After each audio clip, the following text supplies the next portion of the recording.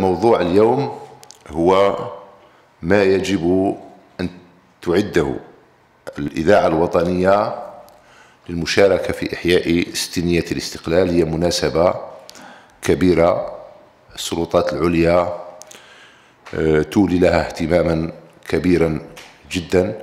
ونحن بدورنا في الإذاعة الوطنية نولي لها نفس الاهتمام بوصفنا مؤسسة إعلامية كبيرة. يعد لها حسابا في مثل هكذا محطات. آه، في الحقيقة إحنا في فكرنا كثير في الموضوع ووصلنا إلى نتيجة تقول بأن تشتيت الجهود ليس محمودا وليس مطلوبا ولا يمكن أن يأتي أن يأتي بنتائج إيجابية. لهذا فضلنا أن تكون كل جهودنا منصبة على نشاط واحد نشاط وطني واحد ومؤثر جدا. يعني كنا نلتقي من أجل هذا المشروع.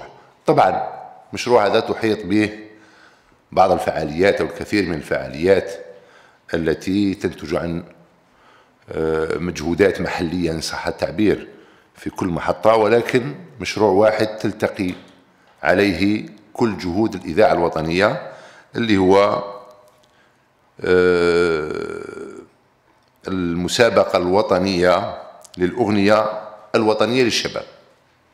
وسأتي وسأتي إلى هذا المشروع بالتفصيل.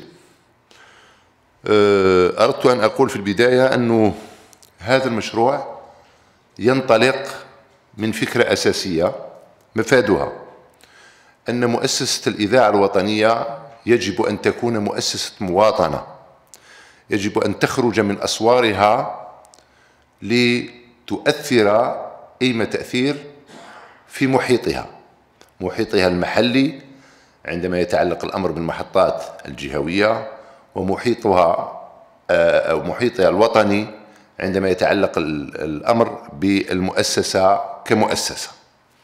وكما تعلمون القاعدة تقول بأن الإعلام هو التأثير. يعني المؤسسة التي لا تؤثر في محيطها لا يمكن أن توصف بالمؤسسة الإعلامية. média égale impact يعني المؤسسة التي لا تؤثر ما تقدرش تكون مؤسسة إعلامية.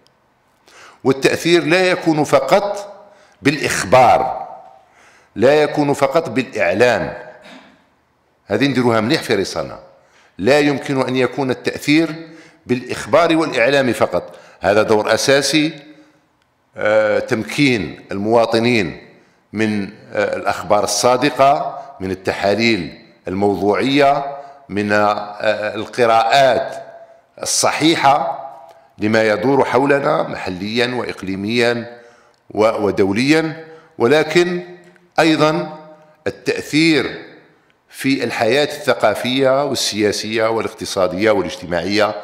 وبذلك نكون مؤسسة مواطنة ومؤسسة إعلامية تكون قد حققت هدفها الأساسي اللي هو التأثير.